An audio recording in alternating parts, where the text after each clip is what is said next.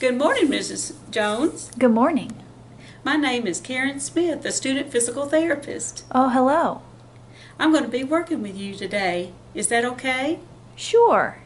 Since we'll be discussing your medical information, would you mind if your visitors leave the room? Oh, I think they can stay. Okay, that's fine.